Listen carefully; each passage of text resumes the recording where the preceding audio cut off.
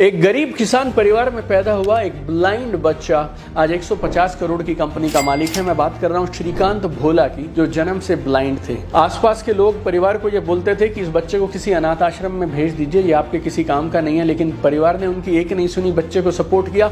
उसने tenth board के exams दिए 90 परसेंट के साथ। ट्वेल्थ बोर्ड में साइंस लेना चाहता था, हो नहीं पाया। कोर्ट केस लड़ा। कोर्ट से अप्रूवल लिया और फिर ट्वेल्थ में 98 परसेंट किए और टॉपर बन गए। आईआईटी में एडमिशन की इच्छा थी, लेकिन बहुत चैलेंजेस आए तो उन्होंने यूएस में एमआईटी में एडमिशन ले लिया। और वहाँ पे जाकर वो यूएस के एमआईटी में एडमिशन लेने वाले पहले इंटरनेशनल ब्लाइंड स्टूडेंट बन गए। यूएस में बहुत अपॉर्चुनिटीज़ थी, लेकिन इंडिया आए, यहाँ आकर काम शुरू किया बोलैंड इंडस्ट्रीज़ की स्थापना की।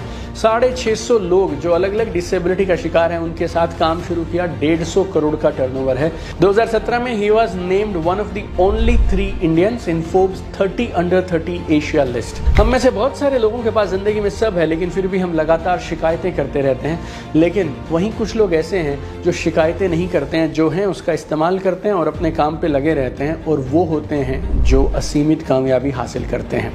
शिकायतों से काम नहीं बनेगा, जो है उसको इस्तेमाल करने से काम बनेगा। अगर आप सहमत हो, इस बात से तो नीचे कमेंट में यस लिखिएगा। And don't forget to share this video with everybody everywhere